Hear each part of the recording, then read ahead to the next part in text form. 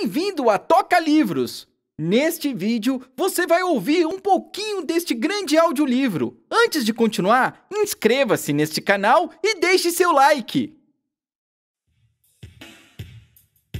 Toca Livros apresenta Noiva Irresistível, de Cristina Lauren, Universo dos Livros.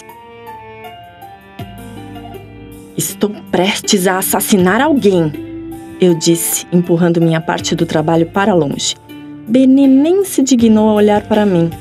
Então acrescentei: E por alguém, quero dizer você. Pelo menos isso arrancou um sorrisinho do rosto dele. Mas eu sabia que, mesmo depois de uma hora, ele continuava no modo preparativos do casamento e não pararia de trabalhar roboticamente até que a pilha inteira de papel cartão desaparecesse. Era o cenário perfeito para eu ter vários e vários orgasmos. Olhei em seus olhos e mordi os lábios. Ele vestia uma camiseta azul escura velha, com o colarinho já todo desgastado e, embora não conseguisse ver, eu sabia que havia um pequeno furo logo acima da barra, por onde meu dedo entrava direitinho para sentir a pele quente do seu abdômen. Sabe o que poderia melhorar muito esta noite? Perguntei. Seus olhos castanhos olharam para mim por uma fração de segundo antes de voltarem para os programas. Dobrar, mover. Uma mordaça? Ele sugeriu. Engraçadinho, eu disse, mostrando o dedo do meio. Não. O que faria esta noite muito melhor seria entrar num avião para Las Vegas, casar por lá mesmo e depois transar a noite inteira numa cama gigante de hotel. Sua boca é maravilhosa. Narrado por Viviane Viello. Enquanto eu recitava meus votos, eu o senti chegar mais perto com o seu calor se espalhando por minha pele. Quando chegou a vez dele, Fiquei observando seus lábios. Prometo ser seu amante e amigo, seu aliado nos conflitos e seu cúmplice nas travessuras, seu maior fã e seu maior adversário. Você acabou de escutar o trailer deste audiolivro. Gostou? Continue conosco e escute 10% de todo o conteúdo deste livro. Só não esqueça de curtir o vídeo e se inscrever, hein? Desejamos mais horas de audiolivros para você e tenha uma boa história. Capítulo 1 Estou prestes a assassinar alguém, eu disse, empurrando minha parte do trabalho para longe. Benê nem se dignou a olhar para mim. Então acrescentei: E por alguém, quero dizer você. Pelo menos isso arrancou um sorrisinho do rosto dele mas eu sabia que, mesmo depois de uma hora, ele continuava no modo preparativos do casamento e não pararia de trabalhar roboticamente até que a pilha inteira de papel cartão desaparecesse. Nossa normalmente maculada mesa de jantar estava repleta de programas de casamento. Na minha frente, Benê dobrava metodicamente cada um antes de passar para a pilha dos terminados. Era um processo simples: dobrar, mover, dobrar, mover, dobrar, mover, dobrar, mover. Mas eu estava ficando maluca. Nosso voo para San Diego sairia às seis da manhã na manhã seguinte e nossas malas estavam todas prontas, com exceção dos 400 programas de casamento que precisávamos dobrar. Soltei um gemido quando me lembrei de que, além disso, precisávamos amarrar 500 fitinhas azuis em 500 saquinhos cheios de doce. Sabe o que poderia melhorar muito esta noite? Perguntei.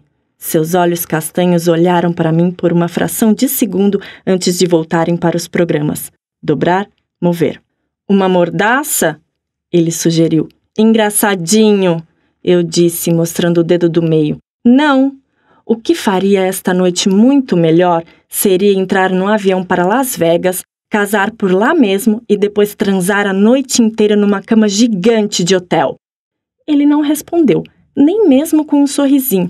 Certo, certo. Admito que provavelmente tinha repetido isso um milhão de vezes nos últimos meses. Então tá, respondi para o silêncio dele. Mas estou falando sério. Ainda não é tarde demais para largar tudo isso e fugir para Las Vegas. Ele parou um instante para coçar o queixo, depois voltou a dobrar um programa. Claro que não é tarde demais, Chloe. Eu estava só brincando. Ou nem tanto, até aquele momento. Mas suas palavras realmente me irritaram. Bati na mesa de jantar e ele me olhou por um segundo novamente antes de, adivinhe, voltar a dobrar os papéis. Não fale comigo como se eu fosse uma idiota, Ryan. Certo, pode deixar. Apontei o dedo para ele. Desse jeito! Meu noivo me deu um olhar seco, depois piscou. Maldita piscadela sexy! Minha raiva se dissipou e em seu lugar surgiu uma pontada de desejo. Ele estava me ignorando e me tratando como uma idiota, e eu estava sendo uma cretina. Era o cenário perfeito para eu ter vários e vários orgasmos. Olhei em seus olhos e mordi os lábios.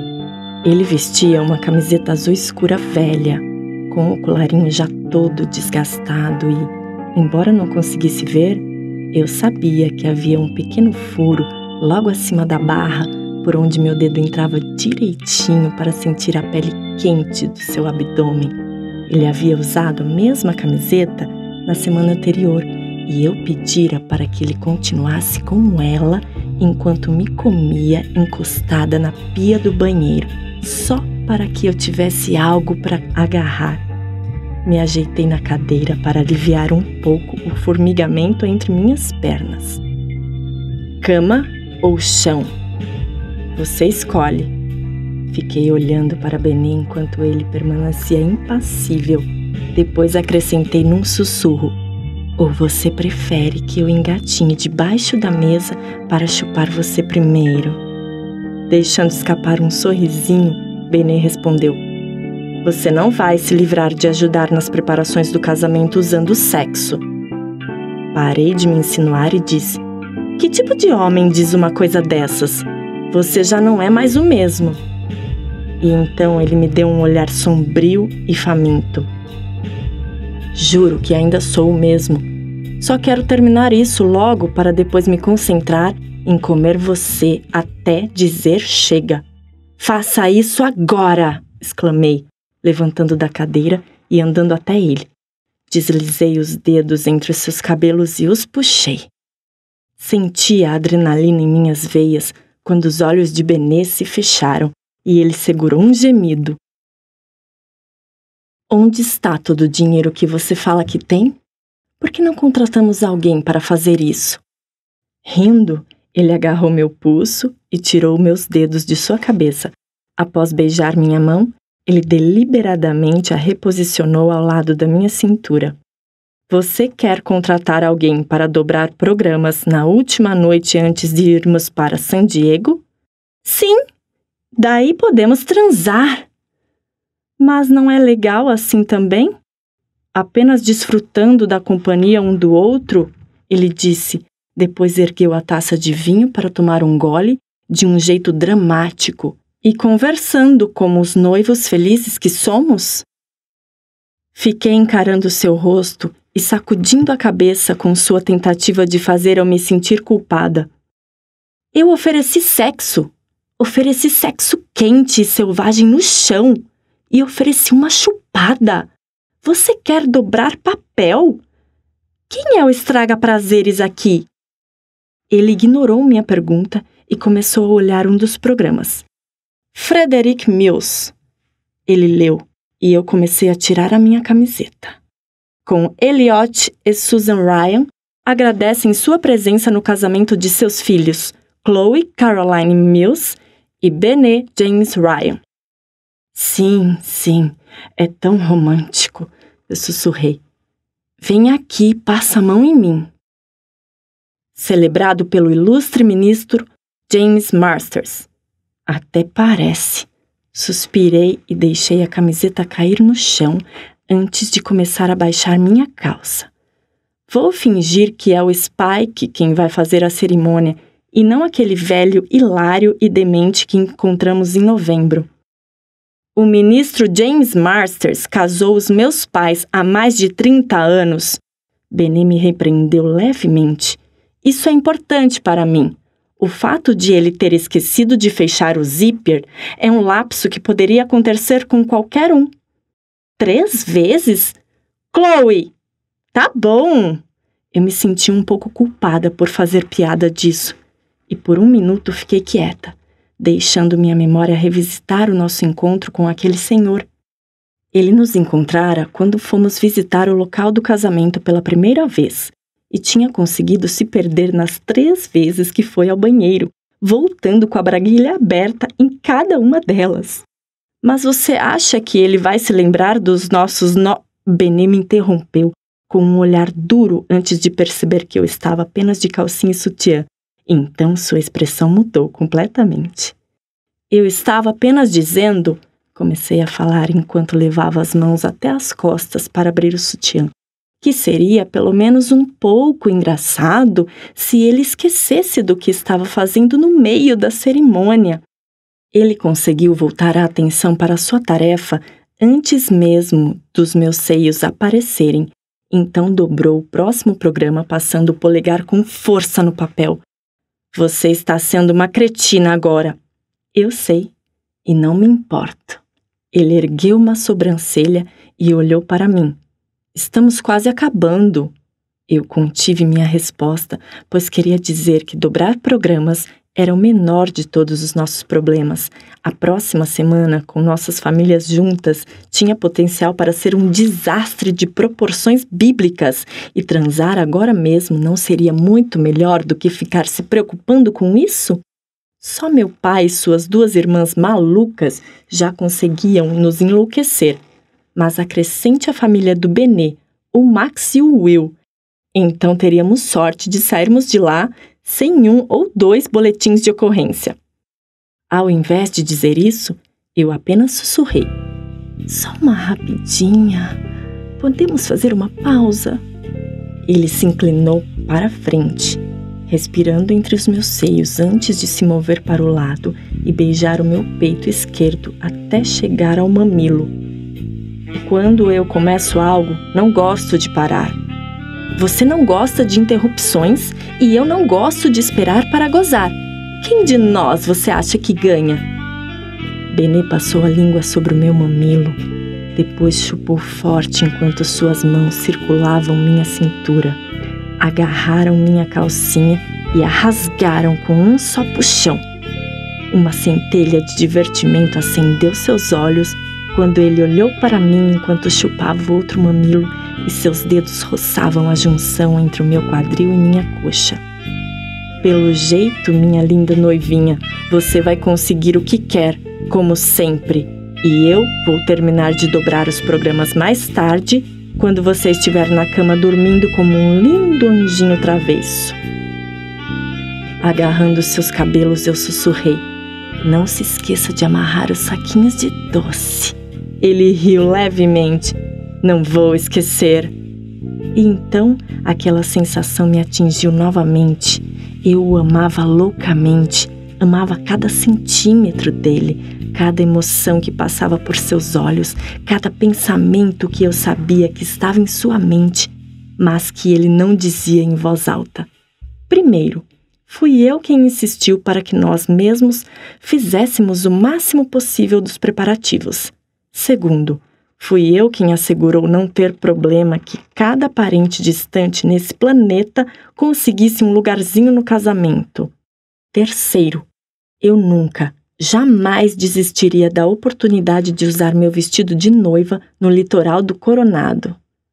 Mas ao invés de apontar o óbvio, que era ele quem estava levando tudo na esportiva, não eu, e que apesar da minha cretinice eu nunca ficaria satisfeita com um casamento rápido em Las Vegas, ele se levantou e se virou em direção ao quarto.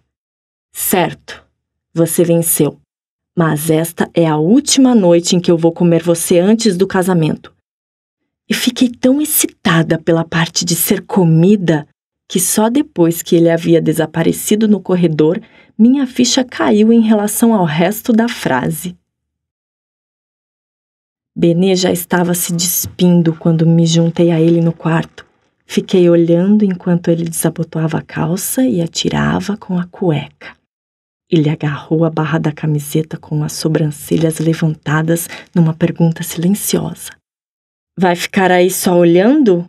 Antes de atirar completamente, andou até a nossa cama, deitou-se de costas, olhou para mim. Vem logo! Ele disse num rosnado baixo. Eu me aproximei, mas fiquei fora do seu alcance. Quando você diz a última noite que eu vou comer você antes do casamento, você quer dizer que vamos transar só durante o dia nesta semana?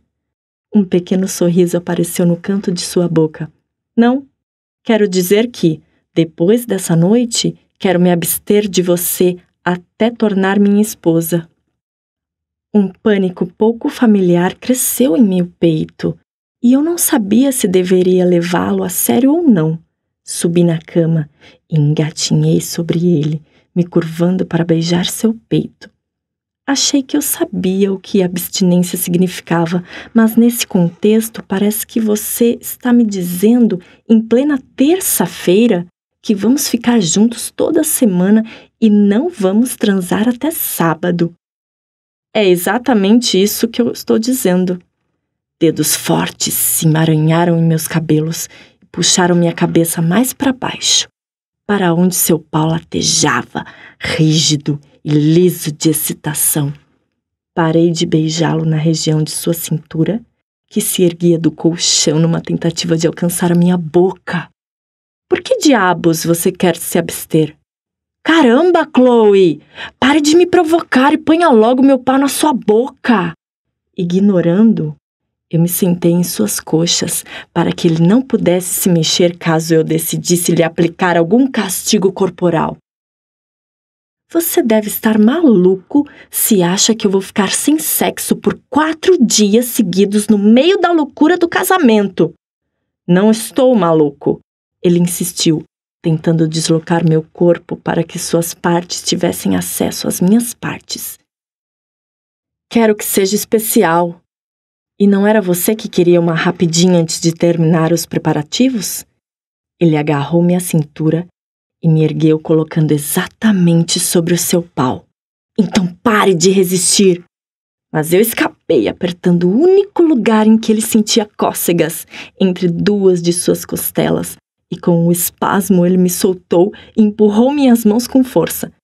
Então me inclinei e beijei sua linda boca perfeita. Isso foi antes de você sugerir que meu acesso ao seu maravilhoso corpo vai expirar quando bater a meia-noite. Sábado será nossa noite de núpcias. Até onde eu sei, essa é uma noite única. Como poderia não ser especial, mesmo se transarmos como coelhos a semana inteira? Talvez eu queira deixar você com um pouco de apetite. Ele sussurrou, sentando-se debaixo de mim. Sua boca encontrou meu pescoço, minha clavícula, meus seios. Quero que você fique tão excitada que nem consiga pensar direito. Ele aumentou suas carícias, agarrando minha cintura, chupando minha pele. Eu estava ciente demais de sua ereção pressionada contra minhas coxas e queria muito senti-lo dentro de mim e ouvir seus gemidos enquanto ele se perdesse num desejo urgente. Mas então um pensamento cruzou minha mente. Entendi. Você quer me deixar excitada o bastante para não me importar quando você rasgar a lingerie caríssima que eu comprei para a noite de núpcias, não é? Ele riu em meus seios. É uma boa teoria, mas não é isso. Eu conhecia Benny Ryan bem o suficiente para saber que eu não venceria essa batalha. Não aqui, não agora. Dele eu nunca ganhava com palavras, ganhava apenas com ações. Eu me ajoelhei sobre ele e sorri ao ouvir seu pequeno grunhido de frustração. Mas então virei meu corpo para poder prender seu rosto entre as minhas pernas, ao mesmo tempo em que tomava seu pau com minha boca. Ele estendeu os braços com avidez, agarrando minha cintura e me puxando com força. Meus olhos se fecharam com o primeiro toque quente de sua língua deslizando em meu sexo, seguido da sucção de seus lábios. Rapidamente me perdi na vibração de seus gemidos, nas palavras abafadas, nas brincadeiras com os dentes antes da sucção voltar mais desesperada. Debaixo de mim, ele impulsionava o corpo para cima e eu envolvia a base de seu pênis com a mão, admirando sua extensão, apreciando sua forma e textura. Eu adorava senti-lo impulsionando os quadris impacientemente. Com um sorrisinho malicioso, soprei a ponta de seu pau e sussurrei: Sua boca é maravilhosa. Ele gemeu, empurrando ainda mais os quadris, mas eu simplesmente deixei minha boca onde estava, arfando sobre sua grande cabeça, deixando-o sentir o calor da minha respiração. Deslizei uma mão para baixo, envolvendo e acariciando gentilmente um dos sacos, enquanto a outra mão trabalhava na base do pau. Na ponta, eu apenas continuei soprando ar quente. Ele conseguia me fazer gozar mais rápido com sua boca do que com qualquer outra parte, e eu sentia que já estava chegando lá. A sensação combinou com o prazer da minha travessura e se transformou num calor urgente, o meu tipo preferido de orgasmo. A boca de Benê entre minhas coxas, junto do prazer de provocá-lo. Meu êxtase ardeu como chamas, descendo por minhas costas e subindo por minhas partes, explodindo até eu realmente perder toda a noção dos meus movimentos. Eu estava praticamente fudendo seu rosto e puxando seu pau sem ritmo nem propósito. Ele desacelerou quando meu corpo se acalmou. Depois beijou meu clitóris, minha cintura, minha coxa, antes de gentilmente me empurrar e me deitar de costas. Subi minha mão pela minha barriga, passando pelos seios até pousar em meu coração. Não me esqueci de que estava encrencada por ter oferecido a preliminar favorita de Benê sem ter dado nada em troca, mas nossa, eu precisava de um minuto para desfrutar dos efeitos da boca maravilhosa de Benny Ryan. Isso foi demais, eu murmurei, recuperando o fôlego. Eu acho que a sua boca deve ser alguma divindade grega. Ele subiu em cima de mim, com os olhos pegando fogo. Eu sei o que você está fazendo. Abri os meus olhos e deixei seu vulto entrar em foco antes de perguntar: O que eu estou fazendo? Ele montou sobre minhas costelas e eu sorri, passando as mãos sobre suas coxas enquanto ele agarrou seu próprio pau e o puxou lentamente para baixo. Sua voz soou como gelo seco quando disse: Você acha que vai vencer essa batalha? Que batalha? Ele riu e apoiou a mão no colchão ao lado da minha cabeça preparando-se enquanto pairava sobre mim. Seu pau estava a apenas alguns centímetros da minha boca quando ele se inclinou para a frente e, com a mão livre, fez sua ponta roçar sobre os meus lábios. Sem pensar, deslizei a língua para fora, sentindo o sabor de sua umidade. Minha boca salivou e meus mamilos se endureceram. Eu o queria dentro da minha boca, queria vê-lo se mexer para dentro e para fora. Mas Benê se afastou um pouco, então tive que me contentar em assistir enquanto ele se masturbava na minha frente. Posso ver a pulsação em seu pescoço. Engolindo em seco, eu perguntei: E daí? E daí que eu posso ver o quanto você quer isto? Ele se inclinou para a frente de novo, mal encostando o pau em meus lábios antes de recuar. Você quer dentro da sua boca? Sua mão começou a mexer mais rapidamente e sua respiração também acelerou. Você quer em sua língua? Ele estava certo. Eu queria tanto que sentia minha pele apertada e queimando. Não tanto quanto você quer, retruquei com minha voz entrecortada. Você não consegue passar nem um dia sem sexo. Ele ficou parado e então começou a se afastar. Por um único e perfeito instante, eu achei que ele fosse abrir as minhas pernas para me comer com raiva, mas em vez disso, ele apenas inclinou a cabeça para o lado, olhou para mim e depois se levantou. O que você está fazendo? Eu perguntei, apoiando o cotovelo no colchão para poder enxergá-lo vestindo a cueca. Provando que você está errada. Ele andou até a porta e desapareceu. Por que você é tão teimoso? Gritei e tudo que eu ouvi de volta foi uma risada no fim do corredor. E não se esqueça de que eu chupei você hoje de manhã no banho, então, tecnicamente, você já transou hoje. Ele vai voltar, eu pensei, 100% de certeza. Eu posso esperar. Fiquei deitada olhando para o teto. Minha pele estava corada e eu sentia uma ansiedade febril entre minhas pernas, mas meu corpo ainda não havia sincronizado com meu cérebro e ainda queria correr atrás dele e implorar para que me tomasse de verdade. O som da geladeira se abrindo quebrou o silêncio no quarto e eu me levantei imediatamente. Ele estava preparando um maldito lanche. Antes que eu pudesse pensar direito, já estava correndo pelo corredor, completamente nua. Meus pés batiam no chão de madeira e entrei na cozinha bem quando ele fechava a geladeira com uma mão cheia de comida. Você está brincando comigo? Eu disse parando ao seu lado enquanto ele começava a preparar um sanduíche. Você vai fazer um maldito sanduíche de peru! Ele se virou e olhou para mim, movendo os olhos do meu rosto para cada uma das minhas curvas. O cretino não conseguia nem esconder o quanto ele queria me comer e depois voltou a olhar para o meu rosto. Já que minha noiva não para de agir como uma maldita provocadora, eu vou comer outra coisa enquanto isso. Mas comecei a pensar na melhor maneira de sugerir para ele me comer sem provocar sua raiva sexualmente frustrada. Mas não pensei em nada. Seu bruto! Se você quer sexo, vai ter que jogar com as minhas regras. Hoje é o dia, senhorita Mills.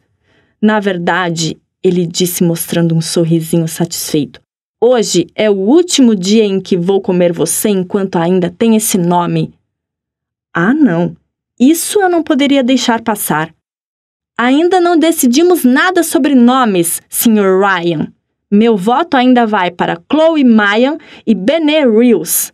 Avise quando estiver pronta, Chloe. Ele me encarou por vários segundos, depois aproximou tanto o rosto que tudo o que eu precisava fazer era me inclinar um centímetro para beijá-lo. Comecei a fazer isso, mas ele se afastou. Quando você disser por favor, Benê, eu preciso de você. Só então vou foder você tão forte que você não vai conseguir sentar por vários dias sem se lembrar de como foi. Minha boca abriu e fechou algumas vezes sem que nenhuma palavra se formasse. Com um sorrisinho sacana, Benê voltou a preparar seu sanduíche. Ele estava sem camisa e seu torso nu parecia não ter fim, sua pele era macia, lisa e bronzeada por causa das corridas matinais. Os músculos em seus braços ficaram aparentes quando abriu um jarro de mostarda, pegou uma faca na gaveta e abriu o saco de pão. Tarefas tão simples, mas observá-lo parecia como assistir ao melhor e mais erótico filme pornô do mundo. Eu adorava seus ombros, seus cabelos pretos, sua pele bronzeada, seus músculos definidos. Que filho da mãe! Assisti a sua língua molhar os lábios. Os cabelos estavam desarrumados e caíam sobre a testa. Quando deixei meus olhos descerem por seu corpo, encontrei a única reação que ele não conseguia esconder. Benê ainda estava tão duro que seu pau pressionava o tecido fino da cueca. Meu Deus! Abri a boca mais uma vez e, sem olhar para mim, ele se inclinou um pouco para o lado e deixou o ouvido perto dos meus lábios. Sem fôlego, fechei meus olhos com força. Benê? O que você falou? Ele perguntou. Não ouvi direito. Engolindo com dificuldade, eu sussurrei. Por favor. Por favor, o quê? Por favor, Benê. Vá se ferrar. Era a frase que estava na ponta da minha língua. Mas a quem eu estava querendo enganar? Eu queria que ele me comesse logo. Então respirei fundo e admiti: Por favor, Benê, eu preciso de você. O estrondo veio antes que eu pudesse registrar direito. Com um único movimento do braço, Benê limpou o balcão, jogando tudo que havia tirado da geladeira para o chão. O jarro se espatifou e a faca voou longe. Benê me agarrou e me beijou, forçando sua língua em minha boca e me permitiu a satisfação de ouvir seu longo gemido de alívio. Já não era mais uma brincadeira. Não era gentil nem cuidadoso, eram seus braços me jogando em cima da mesa, Uma mão puxando meu corpo no mármore frio e me mantendo imóvel, com a palma sobre meu peito sua outra mão abrindo minhas pernas e puxando a cueca para baixo. E antes que eu pudesse dizer o quanto eu queria isso, antes que eu pudesse pedir desculpas por provocá-lo tanto, pois eu queria pedir desculpas, e alguma coisa em vê-lo tão selvagem me assustou deliciosamente. Antes de tudo isso, ele estava facilmente entrando em mim, tão fundo e tão forte, depois saindo rapidamente, movendo os quadris com perfeitos golpes de punição. Tirando o peso da mão sobre meu peito, ele agarrou minhas pernas e deu um passo à frente, puxando-as para cima de seus ombros e acertando aquele ponto tão fundo que eu sentia sua força reverberando por todo o meu corpo. Ele deslizou a mão até minha cintura e me segurou no lugar enquanto me comia, com a cabeça jogada para trás, alcançando seu prazer agora. O balcão era firme o bastante para aguentar a força de seus movimentos, mas eu estiquei os braços e agarrei a beirada para poder jogar meu corpo ainda mais contra o dele. Não era suficiente, eu precisava de mais, mais fundo, mais molhado, mais forte.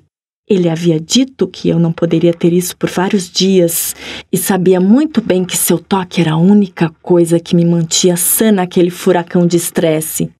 Eu precisava tê-lo mais fundo dentro de mim do que jamais tinha tido e fiquei obcecada com a ideia de que conseguiria, de algum jeito. Meu Deus, você está completamente encharcada! Ele gemeu, abrindo os olhos para me encarar. Como vou conseguir não transar com você? Você não tem ideia do quanto eu preciso disso. Então por quê? Por que dizer que não podemos? Ele se abaixou, fazendo minhas pernas dobrarem até minhas coxas pressionarem meu peito. Porque é a única vez em minha vida que poderei parar, relaxar e apenas aproveitar ficar perto de você, ele sussurrou e lambeu meu pescoço. A língua, os dentes, o toque foi como fogo queimando minha pele. Quero não ficar pensando o tempo inteiro sobre onde eu poderia levar você para ficarmos sozinhos por 10, 15 minutos, uma hora. Não quero ficar com raiva de ninguém por nos manter separados enquanto estão lá para festejar. Ele disse ofegando em silêncio. Estou obcecado por você com isso. Quero mostrar a você que eu posso me conter. E se não for isso que eu quero? Benem enterrou o rosto em meu pescoço e diminuiu a velocidade, mas eu conhecia seu corpo bem o bastante para saber que ele estava na beira do abismo, quase atingindo o ápice. Ele se esfregou em mim, encontrou aquele ponto perfeito e o ritmo que me distraía da minha pergunta e me fazia querer me concentrar na sensação entre as minhas pernas. Eu estava presa debaixo dele e Benê começou a se concentrar em meu prazer, penetrando tudo dentro de mim, levando-me às alturas e eu agarrar seus ombros e enterrar as unhas em sua pele. Minhas costas estavam doloridas por causa do tampo de mármore, duro e frio, mas a crescente urgência de seus movimentos fazia eu não me importar. Eu poderia ficar marcada, mas não tinha problema. Eu não queria mais nada além de gozar com ele. Quando meu orgasmo me atingiu, a sensação que tomou meu corpo disparou num lampejo de eletricidade por minha pele, deslizando para dentro e para fora até eu não saber se aguentaria mais a sensação de ser preenchida, de ser atacada e de gozar tão forte que tudo se escureceu. Eu gritei e puxei seu corpo contra o meu, precisando sentir todo o seu peso sobre mim. Seus movimentos aceleraram e se tornaram mais selvagens. Depois ele se arqueou e também gritou, sua voz ecoando pelo teto enquanto gozava até a última gota. Apesar do frio do tampo, nós estávamos suados e sem fôlego. Benê se endireitou e continuou a me penetrar, agora mais devagar, como se não quisesse parar mesmo que precisasse. Ele entrava e recuava, observando toda a minha pele corada. Ele já havia gozado, mas parecia que ainda não tinha terminado. Ao invés disso, ele parecia um predador que provou rapidamente sua presa e agora queria se empanturrar antes de voltar para a selva. Eu adorava esse seu lado, o que parecia mal conseguir se controlar, tão diferente do jeito contido do dia a dia. Seus olhos estavam sombrios e quase fechados. Mãos famintas tocavam o ponto aquecido entre minhas pernas, subindo por minha cintura, chegando aos seios, onde beliscou meus mamilos com força. As mãos tomaram meus seios e o apertaram em direção à sua boca quando ele se abaixou e chupou minha pele com vontade. Não me deixe marcada, seu bruto! Eu disse e minha voz saiu pequenininha e rouca. Meu vestido! Afastando o rosto, ele me encarou com uma expressão de quem acabara de entender que vivemos num mundo com outras pessoas e que precisaríamos interagir com essas pessoas num futuro próximo em nosso casamento. Um casamento em que eu usaria o vestido tomara que caia, que mostraria todas as mordidas e chupões que ele estava prestes a fazer, Desculpe, ele sussurrou. Eu só queria. Eu sei. Agarrei seus cabelos e o puxei, desejando poder ficar assim para sempre. Eu de costas na mesa da cozinha, ele de pé e inclinado sobre mim. Benê exalou profundamente, prendendo-me debaixo do peso de seu corpo. De repente, ele parecia exausto.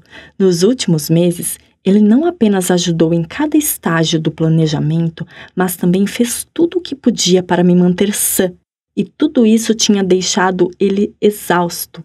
Mergulhei os dedos em seus cabelos e fechei os olhos, adorando esse vislumbre do Benê como um mero mortal, como um homem que era capaz de se exaurir ou que precisava de um lembrete para ser mais gentil.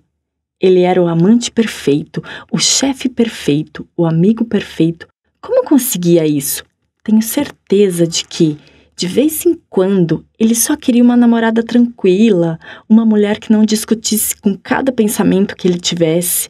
Uma pontinha de dúvida passou por minha mente, mas então parei e comecei a sorrir.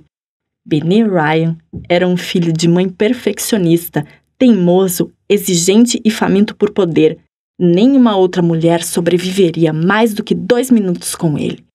Caramba, às vezes eu também adoraria ter um homem dócil e educado, mas de jeito nenhum eu trocaria meu cretino irresistível. Ele se levantou, beijou entre meus seios e, com um gemido relutante, saiu de dentro de mim. Abaixando-se, apanhou a cueca e a vestiu antes de olhar mais uma vez para meu corpo ainda corado e suado.